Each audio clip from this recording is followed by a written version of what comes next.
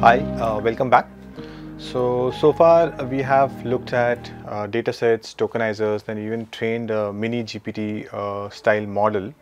Now we're going to look at uh, uh, something which is uh, what you would do more often, right? The training is something that uh, you may not do so often, but fine tuning uh, a model, uh, prompting it, and so on is something that you would do more often because you would want to adapt it to downstream tasks, right? So let's see uh, what this means, and uh, let's look at some uh, sort of uh, theory or context before we get into the hands-on part, right?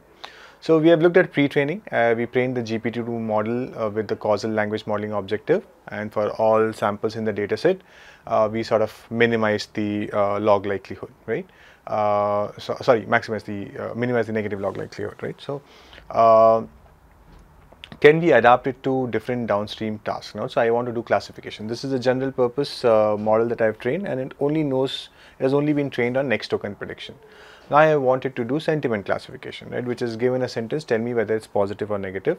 Named entity recognition, meaning given a sequence of tokens, uh, identify all the tokens which are named entities and which named entity is it. Is it a name of a person or an organization, date, etc. Right. Uh, then some text generation tasks like question answering, translation, summarization, and even conversational tasks, right, where you're trying to use it in a sort of a chatbot environment. Right? These are all the tasks that uh, modern LLMs are used for.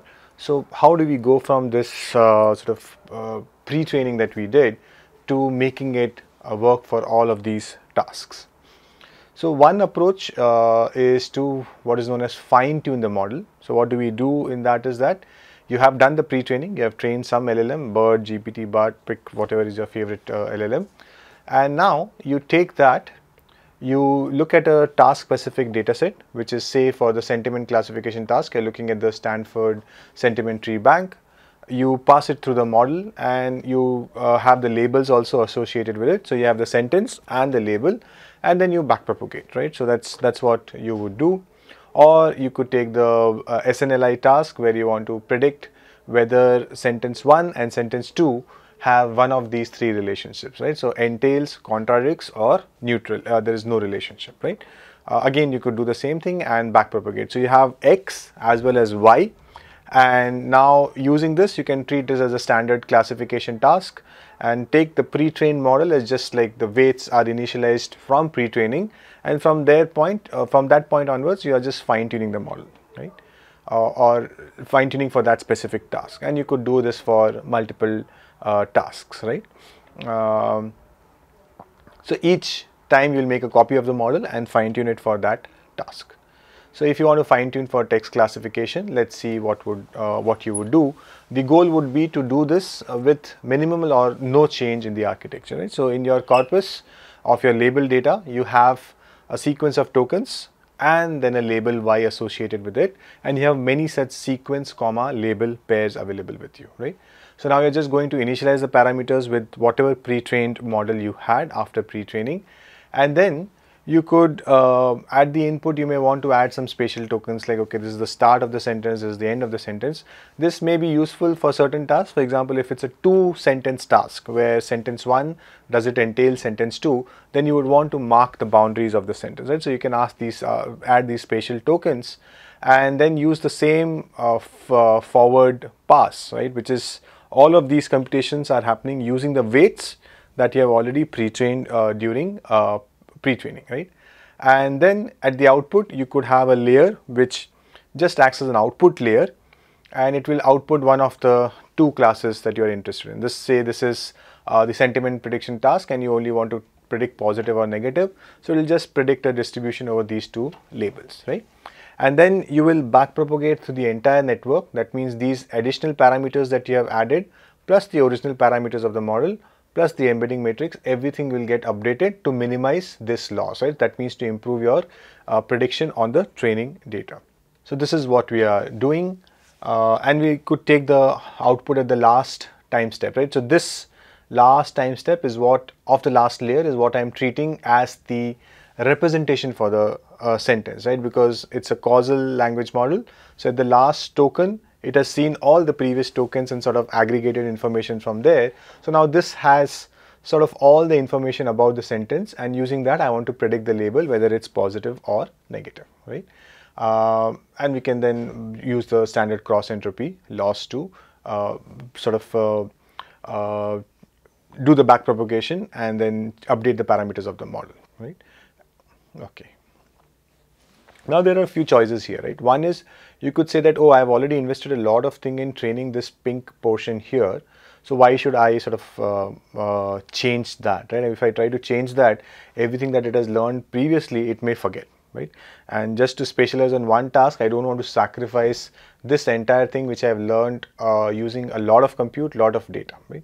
So in that case, you freeze all the parameters of the transformer and only train the newly added parameters, which is Wy in this case, right? And it makes sense because you have smaller amount of data. So it makes sense to just train a smaller amount of parameters with it. That's one. The other is given that the model has already learned a lot from previous data, you don't want to disturb that, right? So this is the other two motivations for using sort of what is known as freezing the backbone or not updating the parameters of the backbone and just updating the newly added uh, parameter, right? And in, in that case, uh, this, this uh, pre-trained model is just acting as a feature extractor because you're passing the sequence, it's going through this entire forward propagation, all the computations are happening. And at the end you're getting a feature vector here. And now based on that feature vector you're doing the classification. And only this part is what is getting trained right? The feature vector and the uh, uh, sorry the feature vector is being fed into this simple wy parameter. And only those parameters are being trained right? So uh, you could think of this as offline also. You can just take your entire training data pass it through this network get the feature vector and then just sort of uh, uh, operate on this layer where you are just doing a back propagation on wy right so that's why it acts as a feature extractor if you are freezing the entire network and that's more common to do you could also do what is known as full fine tuning where you're going to fine tune the entire network. Not very common to do, especially if you're dealing with like a 13 billion or 30 billion parameter model. It doesn't make sense to sort of go and adjust the entire uh, model, right? Um, although, yeah, I mean, in practice it does give better performance, but it's still not recommended, right? And uh, there are better ways of doing this, which we'll talk about uh, soon. Yeah. So this is fine, right? I mean, you might want to fully fine tune a, a model which you have pre-trained and this makes sense for like smaller models like 124 million parameter GPT-2 model, right? Let's call it GPT-2 small, but there are other variants of the uh, model, right? Uh, even the GPT-2 model, a small model requires around 3 to 4 GB of uh, GPU memory, right? And that too just with a batch size of 1. Typically, you would use larger batch sizes and anything larger than 10 here would become prohibitive, right? Because it would, uh, but of course, some of this is uh, uh, not the batch uh, memory occupied by the training data, but it's also the parameters of the model and so on. But anyways, it requires some amount of memory, so you have to be mindful of that. If you are going to use larger models, right? Uh, say the extra large model which has I think uh, 1.5 GB, right? Uh, uh, it is uh, 1.5 giga parameters. that would be very difficult to fit on a memory on a single GPU, right? So it requires at least 22 to 24 GB of GPU memory, and that too with a batch size of one, right? So then passing the entire data through it, fully fine tuning it, it becomes very expensive if you do not have access to enough compute power, right? So this is good to do from an experiment perspective, good to say that yeah, fully fine tuning gives the best performance and all that, but in practice it would become uh, uh, infeasible, right? So you have to be mindful of that. So, and you can't do this for very, very huge models, right? Because uh, there's a 175 billion parameter model also available. How will you do it? And some, uh, for example, the Llama 3. Point, the Llama uh, 405 billion parameter model you need around 16 GBs, uh, 16 GPUs just to load the model, right? And then imagine doing something on top of that. It's computationally very prohibitive, right? It's very expensive to uh, do that.